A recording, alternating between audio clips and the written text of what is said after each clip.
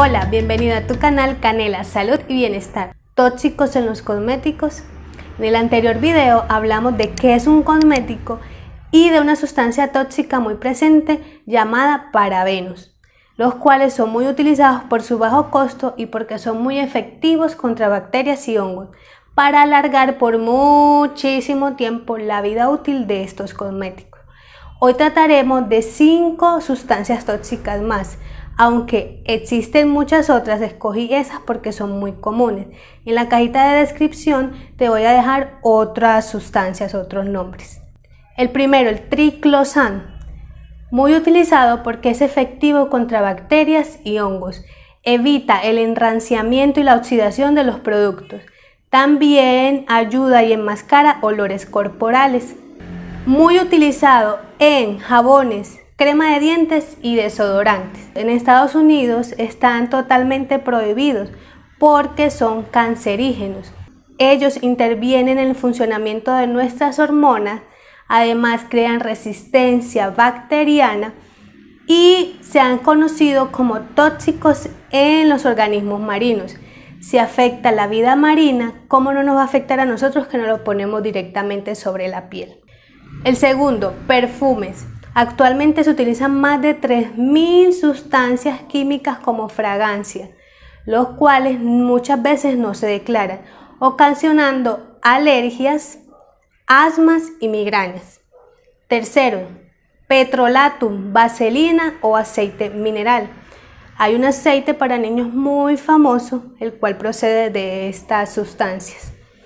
Estas sustancias provienen del petróleo y lo que hacen o actúan como una capa plástica en nuestra piel. Estos son aceites muertos, no pueden penetrar nuestra piel y tal vez te sentirás hidratada. ¿Pero por qué? Porque evita que salga el agua. Pero así como evita que salga el agua, evita que salgan toxinas de nuestro cuerpo. Recordemos que la piel es nuestro tercer riñón, ya que ella hace parte de nuestro sistema excretor. Y estos aceites nos roban también nuestras vitaminas y ácidos grasos. Es como si le hiciera esto a tu piel, no pudiera respirar. Cuarto, lauril sulfato de sodio. Básicamente es utilizado como un potente agente de limpieza. Esta sustancia arrastra de una manera muy efectiva la suciedad o la grasa acumulada, pero a su vez también arrastra nuestros ácidos grasos naturales, lo cual debilita la función protectora de nuestra piel. También tiene presente un químico llamado 1,4 dioxano, conocido o sospechoso de producir cáncer. Y quinto, formaldehído o formol. Esta sustancia está declarada por el Instituto Internacional para la Prevención del Cáncer como una sustancia cancerígena, lo cual está prohibido su uso. Pero como es muy efectivo contra bacterias, contra hongos, lo siguen utilizando, pero con unos derivados de este formol, los cuales al metabolizarse liberan esta sustancia. Aparecen con unos nombres muy característicos. Te dejaré en la caja de descripción los nombres de cómo lo puedes encontrar.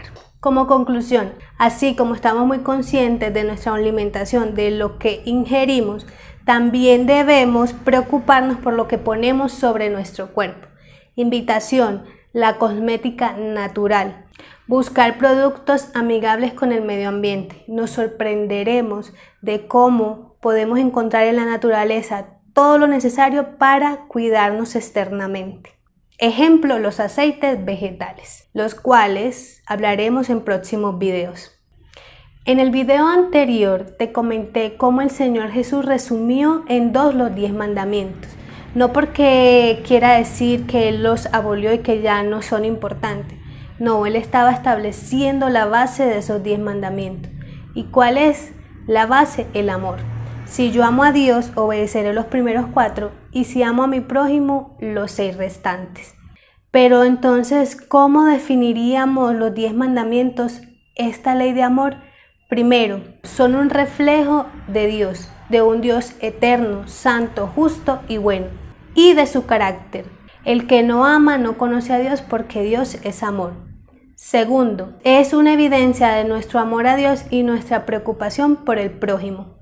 Tercero, señala por medio de la obra del Espíritu Santo nuestra condición de pecado y nuestra necesidad de un Salvador, el cual es Cristo Jesús. No quiere decir que al yo cumplir esos diez mandamientos ya seré salva. No, la salvación solo la da Cristo Jesús. Pero el cumplimiento de estas normas sí son un reflejo de mi relación con Dios. Y cuarto, desarrollan el carácter del cristiano y nos da una sensación de bienestar. Detente un momento y echa un vistazo a tu alrededor. ¿Crees que como está la sociedad actualmente estamos bien? O tal vez, si tuviéramos en cuenta este decálogo que Dios dejó, todo no sería diferente. En el próximo video hablaremos del primer mandamiento. No tendrás dioses ajenos delante de mí. Espero esta información te sirva de mucha ayuda, que pongas en práctica para que puedas tener buena salud y vivir con bienestar. Nos vemos la próxima. Chao.